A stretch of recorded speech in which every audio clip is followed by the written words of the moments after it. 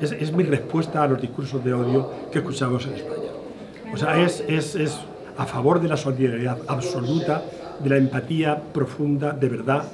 Y, y, tenemos muchos casos en los que ayudar a, a gente. Quiero decir, el, el, el, discurso que está habiendo en Europa contra la inmigración, o sea, contra niños no acompañados.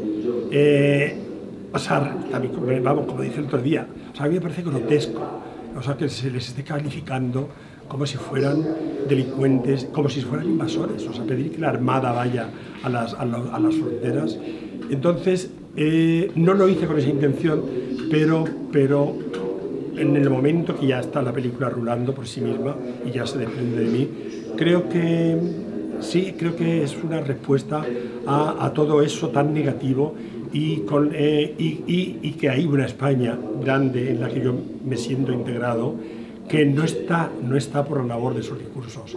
Y, y, debería incluso haber una penalización, una vez que ya que los bulos se, quiero decir, se averigüen, se controlen, se sepa todo, se sepa que son mentiras, debería, deberían tener alguna penalización, porque están crispando de un modo insoportable la sociedad en la que vivimos.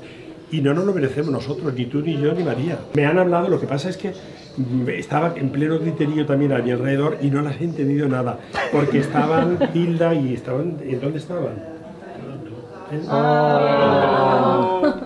¡Qué bueno! Y, y no, están absolutamente entusiasmadas. Es una película, quiero decir que como todas, la he dirigido del mismo modo, como una, como una película del deseo más. Pero, pero eh, la verdad es que la potencia que han adquirido los dos personajes, hechos por ellas, era, era un verdadero espectáculo para el equipo verlas, verlas rodar. Yo hubo, hubo un momento que me da un poco apuro porque es muy ñoño por mi parte, pero la segunda vez en que Tilda está viendo eh, dublineses y empieza a hablar con, doblar con la voz de, del marido de Jessica Houston, nieva sobre y niebla sobre los vivos y sobre los muertos, me tuve que ir a un, al lavabo a llorar porque estaba. Era muy, muy emocionante verlas a las dos, ¿eh? porque son dos fieras. Y no he tenido ningún problema y después tampoco el inglés ha sido, ha sido un problema. Yo seguiré haciendo películas.